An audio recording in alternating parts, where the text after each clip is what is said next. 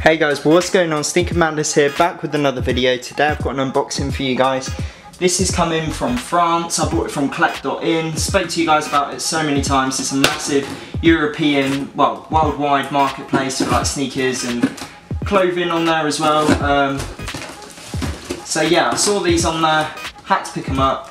Um, you guys will soon see what they are. They're not a new release, but they are a very, very nice shoe. Let's take this up quite well. There we go.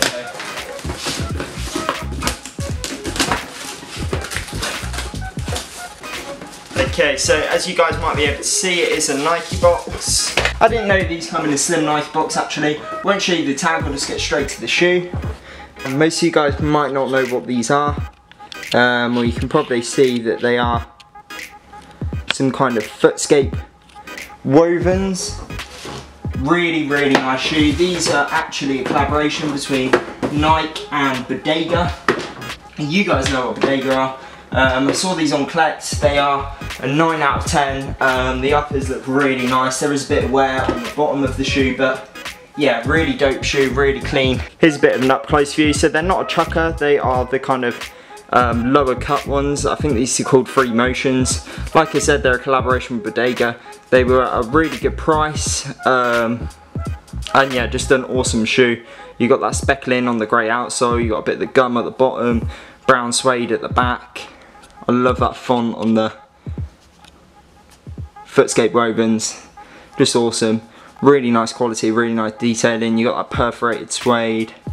Just a really dope shoe. Um, really clean colorway as well, which I like.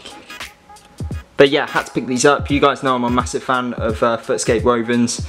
And uh, yeah, I'll definitely do a review and on feet of these because I think it would do it more justice seeing them on feet. So yeah, let me know what you think about them guys. I'm really glad that I managed to get them. I love Footscape Wovens. That whole woven thing is just awesome.